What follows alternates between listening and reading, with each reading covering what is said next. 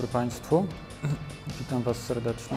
Nazywam się Rafał Chmielewski, ale pozwolicie, że nie będę mówił z mikrofonem, tylko bez mikrofonu. Dobrze? Bo ja po prostu nie lubię niczego trzymać w rękach podczas mówienia, bo po prostu lubię rękoma e, e, ruszać podczas mówienia.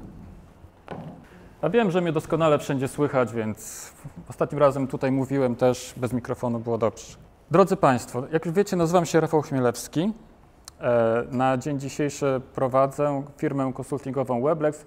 W ramach, w ramach Weblex wspieramy kancelarie prawne w rozwoju, pomagamy im zdobywać piękny i wspaniały świat za pomocą prawniczych blogów. Na dzień dzisiejszy wspieramy sto kilkanaście kancelarii prawnych, administrujemy ich stu, kilka, stu, kilku, 160 ponad blogami prawniczymi. E, Dwa lata temu napisałem taki poradnik, pamiętnik adwokata. E, To jest książka, w której każda kancelaria może dowiedzieć się nie tylko adwokacka, ale także radcy prawnego, doradcy podatkowego, rzecznikowska i tak dalej, jak kancelaria może budować swój wizerunek, wzmacniać swoją markę za pomocą prawniczego bloga. Prowadzę oczywiście też kilka prawniczych blogów, jako że o blogach mówię i uczę, w jaki sposób to się robi, więc prowadzę sam kilka blogów, wśród których dwa są takie, które chciałbym Państwu szczególnie polecić. Pierwszy to jest taki sam tytuł jak Pamiętnik Adwokata, gdzie oczywiście omawiam kwestie związane z blogowaniem prawniczym, ale drugi blog to jest W drodze do kancelarii. W drodze do kancelarii to jest tak naprawdę seria e, podcastów, czyli takich audycji, które można sobie odsłuchać. E, I tam prowadzę wywiady z doświadczonymi prawnikami, którzy, jak ja to nazywam, niejedną wiosnę w todze mają już za sobą. Także myślę, że c- co prawda jest to blog skierowany do początkujących kancelarii, do początkujących prawników, ale wydaje mi się, że każdy znajdzie tam coś ciekawego dla siebie. Drodzy Państwo, ale nie przyszedłem tutaj mówić o sobie ani o Weblexie. Przyszedłem mówić o tym, w jaki sposób kancelaria prawna może za pomocą e, bloga prawniczego budować swój wizerunek, wzmacniać swoją markę i opowiedzieć troszkę też o social mediach, ale nie za dużo, ponieważ pan Rafał mówił znacznie więcej niż ja mógłbym Wam przekazać. Nawiasem mówiąc, blog prawniczy to jest również narzędzie z zakresu mediów społecznościowych, dlatego że umożliwia komunikację, a mówiąc w drugim nawiasie, to powiem Wam jeszcze szczerze, że w moim przekonaniu fora i grupy dyskusyjne to są również media społecznościowe, ponieważ również nam umożliwiają komunikację. I te media społecznościowe, tak jak fora i grupy dyskusyjne, to co? To one były, drodzy Państwo, przecież na samym początku istnienia internetu. Tak? Takie tak naprawdę są stare media społecznościowe, tylko dzisiaj one mają zupełnie inny, inny wymiar. Mm. Przechodząc jednak do tematu blogów. E, Drodzy Państwo, zacznę od historii. Historii, która miała miejsce w roku 2008, czyli dawno, dawno temu. E, Wówczas to tutaj na ulicy Chłodnej stoi takie wielkie zamczysko, taka wieża. Ktoś wie, co stoi na ulicy Chłodnej? Taki budynek wybudowany kiedyś przez DU, taki wieżowiec szary, strasznie brzydki. Tam, na, tam, w, tam w tamtym roku na 14 piętrze siedziałem w, e, w, e, w korporacji, w jednej z firm z, e, konsultingowych i tam właśnie świadczyłem usługi doradztwa podatkowego w ramach tej całej organizacji. I drodzy Państwo, żeby nadać Wam pewnego kontekstu, to powiem tak. Praca w ta, w, tam w tej korporacji była moim marzeniem. Od samego początku, niemalże jak zacząłem studia prawnicze tutaj na, na uniwersytecie. E, Jednakże szybko się okazało, że tak naprawdę to nie jest praca dla mnie, że powinienem stamtąd jak najszybciej odejść, gdyż po prostu nie pasuje tam pod żadnym względem, ani osobowościowym, e, ani jakimkolwiek innym. Poza tym nawet nie byłem w stanie zrozumieć, jak działa korporacja. Po prostu osobowościowo nie nadawałem się do tej pracy. Dlatego zastanawiałem się, jak stamtąd w ogóle odejść. I w związku z tym, że miałem wcześniej, e, podejrzewam, że pewnie tak jak pan Rafał, e, epizod związany z prowadzeniem działalności gospodarczej, tak naprawdę sprzedawałem ubezpieczenia i świetnie mi szło, ale to tylko przez półtora roku, dlatego że pomyślałem sobie, że chcę jednak skończyć studia prawnicze niż zająć się ubezpieczeniami i pewnie pan Rafał tak samo. E, nie wiem, tak? Znaczy nie prawnicze, Aha, okej. to. Okej, tak. Więc pomyślałem sobie, że naturalnym wyborem będzie dla mnie to, że założę po prostu firmę. Pytanie tylko było, jaką? A że pomyślałem sobie, znam się trochę na opodatkowaniu dochodów zagranicznych, bo tym się zajmowałem w KPMG, to zrobię coś w tym kierunku. I drodzy Państwo, to był rok 2008, cztery lata po wejściu do Unii Europejskiej. Mam nadzieję, że w tej Unii nadal zostaniemy, tak nawiasem mówiąc, a propos polityki.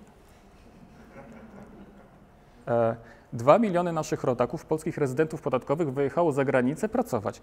Oni wszyscy tam zarabiając pieniądze powinni byli rozliczać się z tych dochodów w Polsce, a oni tego nie robili. W związku z tym niemal wszyscy mieli zaległość podatkową. I wiadomo było, znaczy może nie wszyscy o tym wiedzieli, ale było kilka osób w tym kraju, łącznie ze mną, którzy wiedzieliśmy o tym, że tyka bomba, która bez wątpienia kiedyś wybuchnie, tak? Dwa miliony osób z zaległością podatkową, słuchajcie, to jest nie byle gratka dla każdego fiskusa, jakby nie było, tak?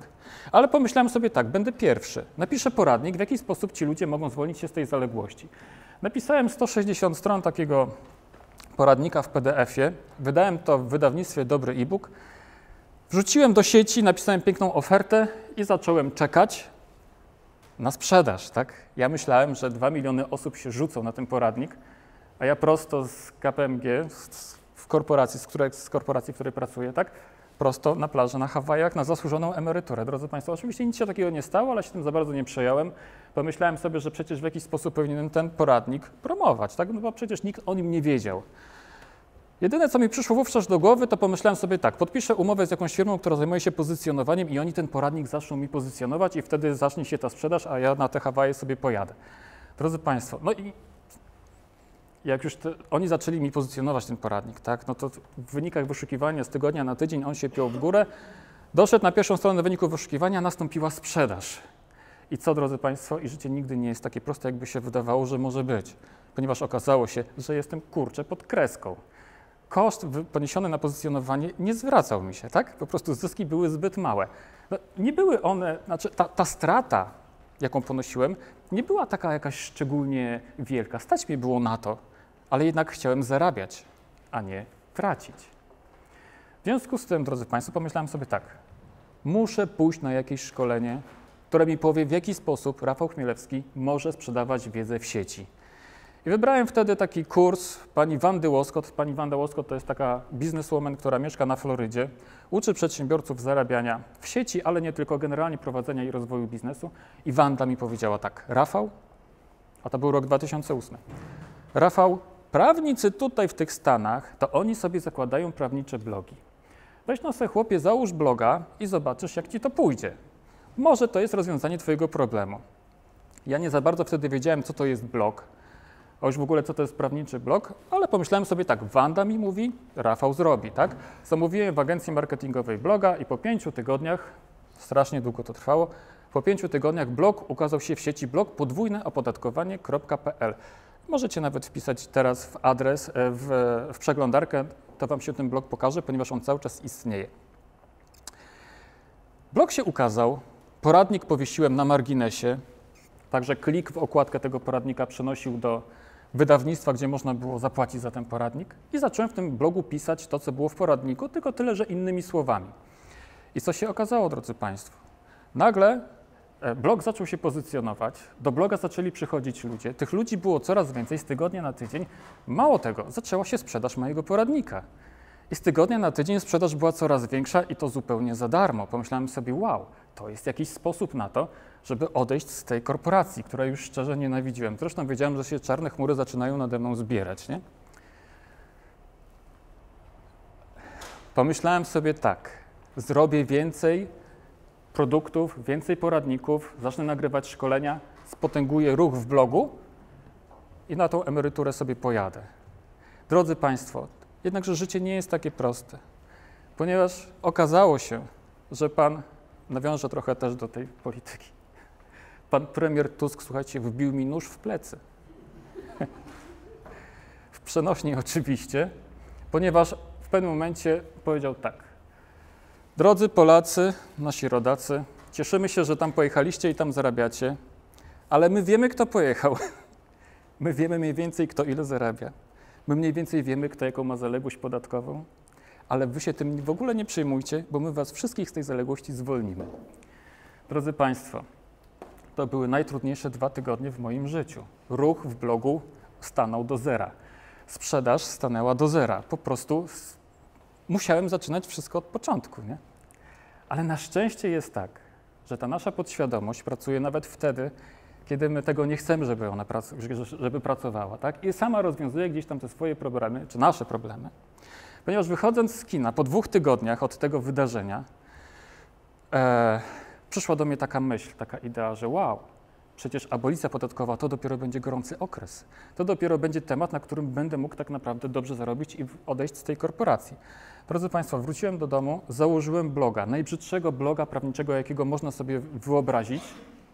Ale nie chodziło mi o to, żeby wyglądał pięknie, nie chciałem czekać kolejnych pięciu tygodni, chciałem po prostu, żeby to wszystko zaczęło działać. Więc zrobiłem sobie tego bloga i zacząłem pisać. Na początku pisałem o tym, co to jest w ogóle abolicja podatkowa, rzucałem jakieś swoje własne przemyślenia, komentowałem projekty ustaw, które wychodziły z Ministerstwa Finansów, z komisji sejmowych i tak dalej. I zacząłem gromadzić, drodzy Państwo, listę mailingową moich przyszłych klientów. To był rok 2008, więc wiecie, to temat ochrony danych osobowych leżał, tak?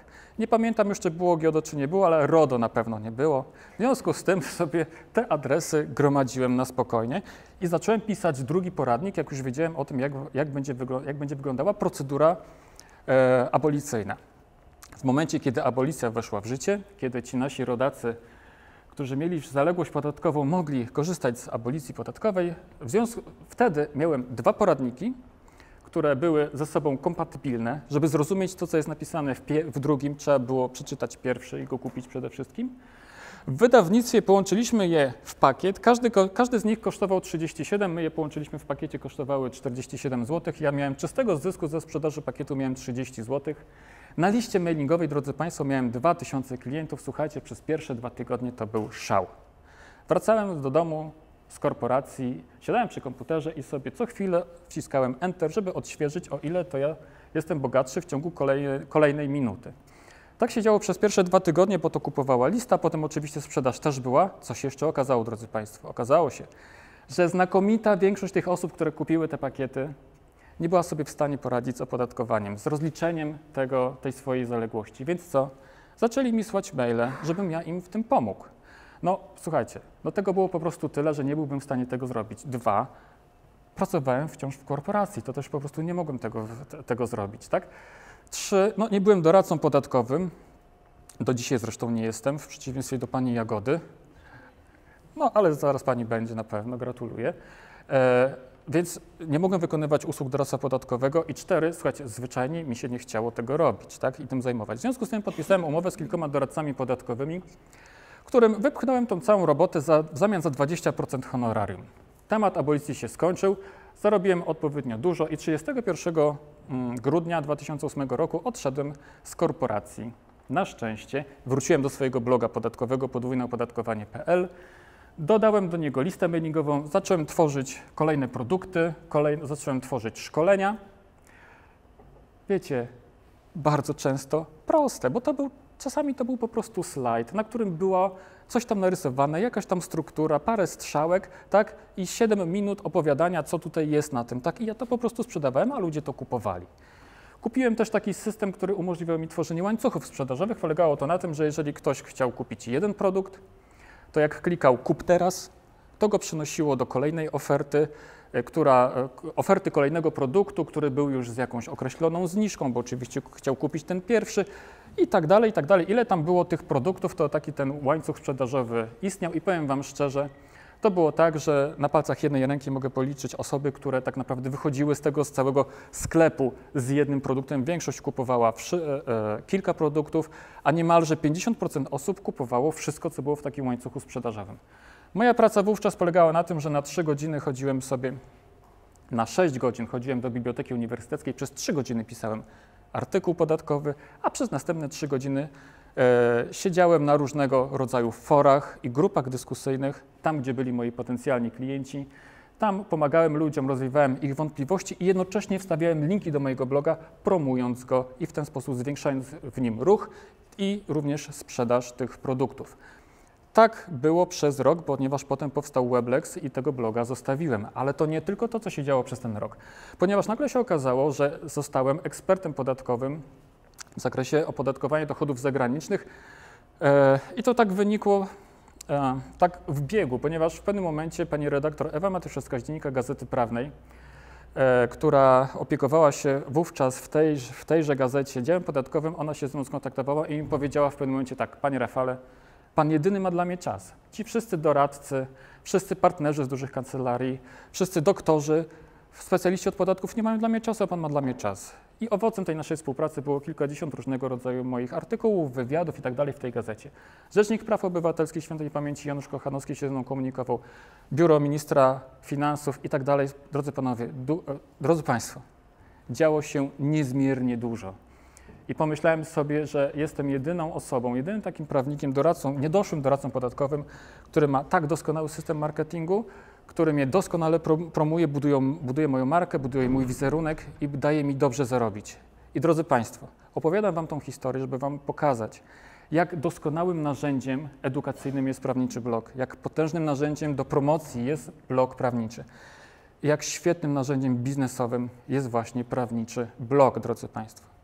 Ale blog prawniczy to jest nic innego jak tylko po prostu narzędzie. Nawet jeżeli będzie najpiękniejszy na świecie, to to jest tylko i wyłącznie narzędzie. To tak jak z tym złotym młotkiem, który mam u siebie w domu i nie jestem w stanie nim wybić gwoździa, to po co mi ten młotek, tak? Po co mi fortepian, który stoi u mnie w domu, jak nie jestem w stanie zagrać na nim koncertu, ani zarobić złotówki. Tak samo nie jestem w stanie użyć kodeksu cywilnego, który stoi na mojej półce, w takim stopniu, w jakim wy jesteście w stanie go użyć, tak? To jest narzędzie pracy i blog jest również narzędziem i niczym więcej. Trzeba umieć w jaki sposób Trzeba umieć go po prostu wykorzystać. A jak go wykorzystać? Jak jego użyć? Ja mam dzisiaj tylko 25 minut, więc powiem o czymś innym. Wszystko można sobie poczytać w tej książce. Jeśli chcecie, to, to, to, to zachęcam. Natomiast chcę opowiedzieć o czymś innym. Dlaczego kancelarie dzisiaj zakładają blogi prawnicze? A tych blogów, uwierzcie mi, drodzy Państwo, jest, powstaje dosyć dużo, rosną jak grzyby po deszczu. W, całej, w samej naszej organizacji w Weblexie co miesiąc kilka kolejnych blogów dochodzi do, do, nasze, do naszej grupy. E, jednakże, jeżeli pytam dzisiaj kancelarię, dlaczego zakładają sobie blogi prawnicze, to podstawowe powody są trzy. Pierwszy to jest taki, ponieważ blogi są modne. Dwa, ponieważ tak robi konkurencja. Trzy, ponieważ tak powiedziała mi agencja marketingowa, poradziła mi agencja marketingowa, która robiła moją stronę internetową albo coś tam, tak? I to jest podstawowy powód. Jednakże wy już wiecie, jak blogi potrafią działać, ponieważ opowiedziałem wam swoją historię i tę historię mógłbym pomnożyć przez wiele, wiele, wiele historii, którą, które, które jestem w stanie, które mogę obserwować, czy mam przyjemność obserwować, współpracując z naszymi autorami. E, drodzy Państwo, ale dlaczego blogi prawnicze są tak doskonałym narzędziem promocyjno-biznesowym? Blogi prawnicze mają kilka czy kilkanaście cech, wśród których są trzy takie, obok których nie powinniśmy przechodzić obojętnie jako prawnicy, jako przedsiębiorcy, właściciele kancelarii. Pierwsza cecha to jest, drodzy Państwo, transgraniczność. Zobaczcie, ten mój blog podwójnopodatkowanie.pl był skierowany do Polaków, którzy pojechali za granicę, tam zarabiają pieniądze i muszą się z tych pieniędzy roz, rozliczać w Polsce. E, zatem gdzie ten blog docierał? No, tam, gdzie są ci Polacy, tak? A gdzie oni są? Wszędzie. Obiektywne statystyki tego bloga pokazują, że ten blog był czytany w każdym zakątku kuli ziemskiej, z wyjątkiem Antarktydy. Nie wiem czemu, może tam polscy naukowcy nie mają problemów związanych z opodatkowaniem swoich zagranicznych dochodów. Ale pomijam ten temat. Drodzy Państwo, blogiem docieramy wszędzie tam, gdzie są nasi potencjalni klienci. Pomyślcie sobie teraz, Jaka to jest pomoc dla małych, drobnych kancelarii, które zlokalizowane są w małych miastach, gdzie konkurencja jest charakterystyczna, bo wszyscy się ze sobą znają, gdzie jednak klienci nie stoją w kolejce do kancelarii prawnych, gdzie sytuacja jest zupełnie inna niż na przykład tutaj w Warszawie, tak? E, więc to jest transgraniczność. Druga cecha, drodzy Państwo, to jest masowość za pomocą bloga prawniczego nie docieramy do 100 osób ani do tysiąca, tylko do dziesiątek tysięcy, do setek tysięcy. W zależności też od, od, pojemności grupy docelowej są w naszej grupie blogi takie, które przekroczyły milion i zbliżają się powoli do dwóch milionów czytelników, potencjalnych klientów oczywiście. Drodzy Państwo, kiedyś taki, dokonałem sobie takiego obliczenia, jak jechałem na konferencję do Torunia, ile lat musiałbym spędzić, do widzenia, ile lat musiałbym spędzić komunikując się e, z milionem osób 20 razy w ciągu doby, dzwoniąc do nich. 20, W ciągu dnia 20 osób, tak, 5 razy w tygodniu, bez względu na to, czy wakacje, czy nie wakacje, święta i tak dalej, to, to żeby się skontaktować z milionem osób, zajęłoby mi to 185 lat. No tak długo chyba nie będę żył, ale za pomocą, i wy też nie, może, kto wie, ale za pomocą bloga jest to zupełnie możliwe, tak? A więc, drodzy Państwo, masowość. I trzecia cecha, trzecia cecha to jest ponadczasowość, najważniejsza z nich wszystkich. O co chodzi z tą ponadczasowością, drodzy Państwo? Zauważcie, tego bloga podwójnopodatkowanie.pl, którego zacząłem pisać w roku 2007, kontynuowałem przez 2008 i 2009 rok, drodzy Państwo, to ten blog jest do dzisiaj. E, do dzisiaj jest czytany. Ja tutaj jestem, a tam założę się, teraz jest kilka czy kilkanaście osób, które przeglądają tego bloga. Tworzyłem treść, stworzyłem markę, zbudowałem swój wizerunek kiedyś, dawno temu, a to dzisiaj wciąż funkcjonuje i wciąż działa. Drodzy Państwo, transgraniczność, masowość i ponadczasowość to są trzy takie cechy, obok po pierwsze, których nie powinniśmy przechodzić obojętnie, jeżeli chcemy promować swoją własną kancelarię. Dwa, nie było jeszcze i nie ma bardziej efektywnego narzędzia do promocji kancelarii prawnej niż prawniczy blog. Bardziej efektywnego. Dlaczego? Ponieważ nic nie jest tak tanie w promocji i tak skuteczne. I drodzy Państwo, e, w związku z tym, że miałem opowiedzieć więcej na temat promocji w ogóle w mediach społecznościowych, nie będę powtarzał tego, co mówił Pan Rafał, ale chciałbym, żebyście zwrócili uwagę, kiedy będziecie zastanawiali się nad tym, w jaki sposób i za pomocą jakiego narzędzia promować swoją kancelarię, no, bo to nie tylko są media społecznościowe, tak? ale to narzędziem do promocji kancelarii prawnej są artykuły prasowe na przykład, e, networking, właśnie jakieś spotkania, nie wiem co to może być, o e, AdWords, tak, pozycjonowanie, świetna strona internetowa, to są wszystko narzędzia do promocji kancelarii prawnej.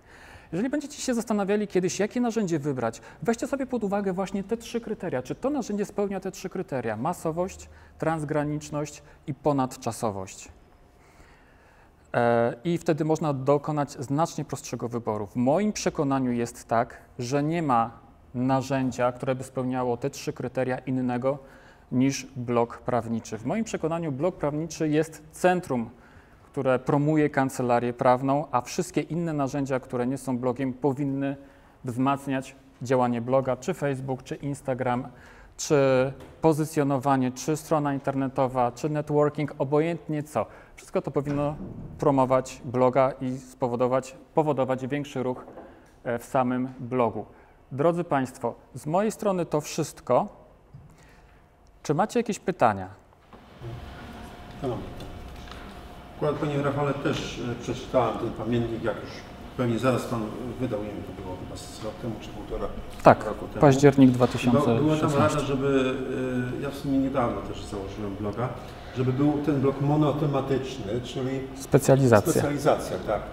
No ale to nie zawsze ma się pomysł, żeby y, w czym się specjalizować, no bo często jest, że się ma tej sprawa cywilnego i skarnego i pytanie jest, czy właśnie zakładanie takiego y, bloga, ale nie monotematycznego, tylko takiego no, z wielu rzeczy, czy, czy to ma sens, czy, czy, czy to dużo się traci przez to, że się nie założyło monotematycznego? E, powiem tak. W miarę upływu czasu, jak rośnie konkurencja w sieci, bo konkurencja w sieci w treści jest dramatycznie duża, a będzie jeszcze większa. To nie są te czasy, kiedy ja założyłem bloga podwójnopodatkowanie.pl, kiedy zacząłem pisać o podatkach międzynarodowych. Wtedy tak naprawdę poza mną, poza tym, co się ukazywało e, mojego autorstwa w gazecie prawnej i poza jeszcze jakimiś tam drobiazgami nie pojawiało się nic. Nie? W związku z tym Obojętnie co bym nie napisał, to ludzie i tak musieli do mnie przyjść, do, do tego bloga i po prostu go czytać. Dzisiaj sytuacja jest dramatycznie inna. Dzisiaj artykułów jest po prostu po kokardę. Nie? Na temat rozwodu można znaleźć w wynikach wyszukiwania kilkaset tysięcy wyników. W związku z tym e, kiedyś można było sobie pisać różnie, tak? I tak ten ruch w jakiś sposób przychodził do bloga. Ale dzisiaj, kiedy ruch jest ogromny, to tak naprawdę ta specjalizacja daje nam ruch w blogu. Im węższa, tym lepsza. Bo są ludzie tacy, którzy, nasi potencjalni klienci szukają po prostu konkretów. Jeżeli ktoś chce się rozwieść, zakładam, tak? Ktoś chce się rozwieść, to na początku może wpisze frazę rozwód, ale w miarę upływu czasu, jak zaczyna e, edukować się w tym zakresie, to zaczyna szukać konkretów w tej wyszukiwarce, tak? I na przykład w pewnym momencie wpisze frazę pozew o rozwód. Nie? Więc lepiej zrobić bloga, pozew o rozwód w bardzo wąskiej specjalizacji, ponieważ większość z tych osób, które będą szukały e, mm, rozwiązania swoich wątpliwości czy dowiedzenia się czegoś na temat stworzenia pozwu o rozwód, tak, trafią właśnie do tego bloga. Więc zdecydowanie lepiej specjalizacja. A czyli, a następne pytanie zatem, prowadząc takiego bloga, odpowiadając właśnie na, na pytania, na posty, no, czy dobrze jest tak szczegółowo w swój warsztat pracy jakby pokazywać ogólnie publicznie i, i, i czy to... E, tak, więc e, po pierwsze, e, drodzy Państwo, to jest tak, że ludzie nie są zainteresowani szczegółami. Nie? Zresztą, po pierwsze, nie są zainteresowani, po, po drugie, na nic im są te szczegóły, bo oni i tak tego nie zrozumieją. Oni nie są przygotowani intelektualnie na szczegółową wiedzę prawniczą. No nie? Więc to jest jedna rzecz. Druga rzecz to jest taka, drodzy Państwo, że e, są takie tematy, kiedy bez względu na to, co my napiszemy, możemy wszystko opisać, ale ludzie i tak muszą do nas przyjść, bo sobie sami z tym po prostu nie poradzą. I tak muszą skorzystać z, z usługi prawnej. Nie? Jednakże, jeżeli piszemy w blogu szczegóły i tych szczegółów jest dużo, ludzie tego nie rozumieją, to po prostu z bloga wychodzą. A nam chodzi o to, żeby oni zostali i czytali więcej. Dlatego ta treść nie może być zbyt skomplikowana. Pytania? Kasia? Nie? Słucham? Ja mam pytanie dotyczące blogów, bo wydaje mi się, że bardzo wielu prawników zaczyna pisać takiego bloga, ale bardzo szybko przestaje. I, i jakiego z Pana doświadczenia, jaka mniej więcej jest ta statystyka, że w Obleksie ilu tych prawników napisało, nie wiem, dwa, trzy, cztery wpisy i potem już nigdy więcej na tego bloga nie weszło napisać czegoś nowego. W Webleksie nie ma takich sytuacji, dlatego że e, e, motywujemy naszych autorów do twórczości, że tak się wyrażę. Nie?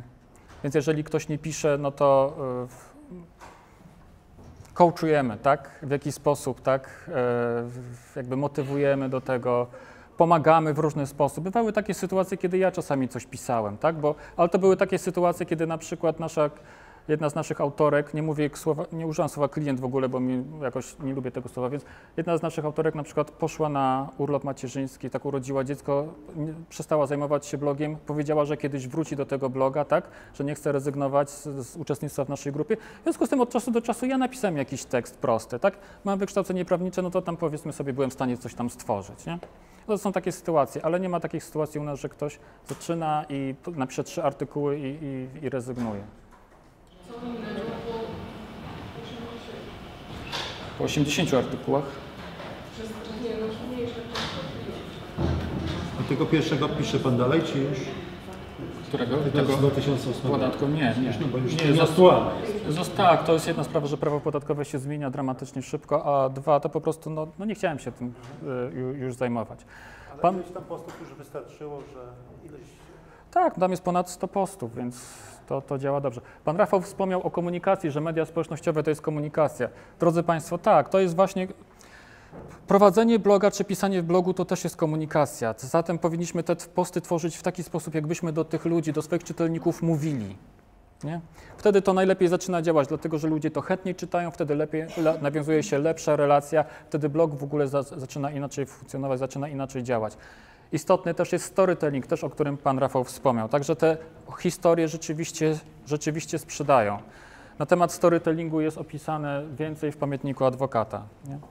A jak nie ma żadnych pytań, to lepiej zaprzestać takiego bloga, czy coś zmienić? No właśnie, tej interreakcji jak nie ma. Czasy się trochę zmieniły i teraz jest tak, że jak Pan coś napisze w blogu, to Panu odpowiadają na Facebooku, nie? Piszą komentarz na Facebooku czy, czy, czy, czy gdzie indziej. W związku z, W związku z tym to nie jest tak, że jak na Facebooku przestają, znaczy jak, jak w blogu przestaje, przestają ludzie pisać komentarze, to, to, to że to nie przestaje działać. Znaczy, no szkoda, tak, że nie piszą jednak tych komentarzy, bo to ożywia zdecydowanie, zdecydowanie bloga, ale kryterium jest przede wszystkim to, jakie są statystyki, to jest jedno kryterium. Jeżeli ludzie zaczynają przychodzić do bloga i blog rośnie, to to jest bardzo ważna informacja. Dwa, czy mam z tego zysk? Ile Zysk. kliknie?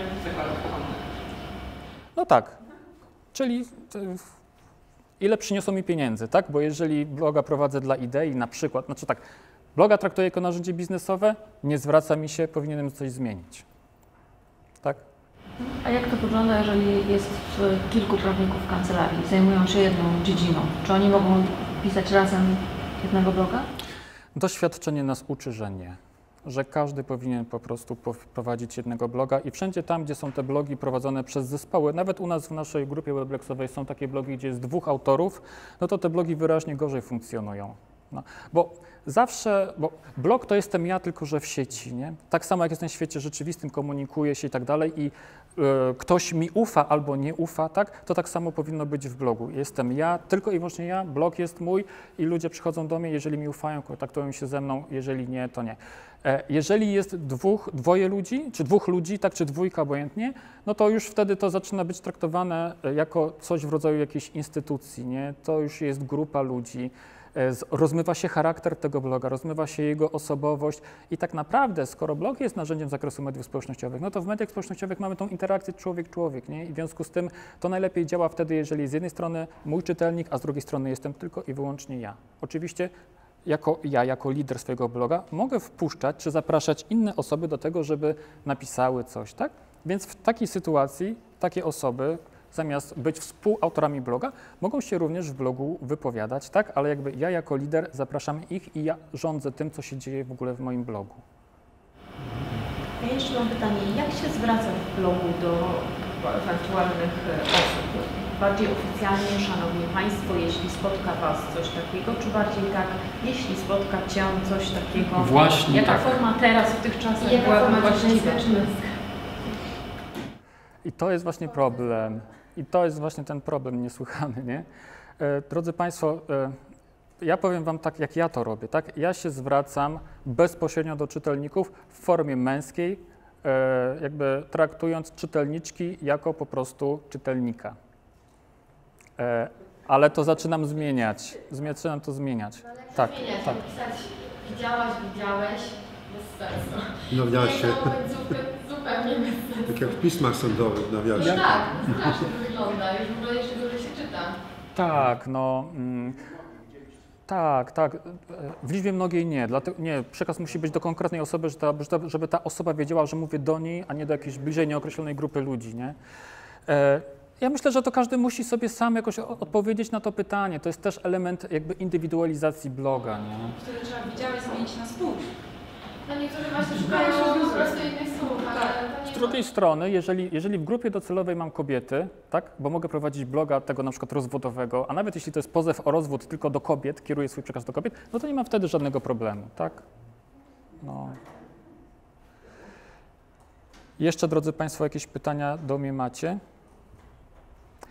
Jeśli nie, to muszę Wam bardzo serdecznie podziękować za uwagę i za pytania i za wszystko.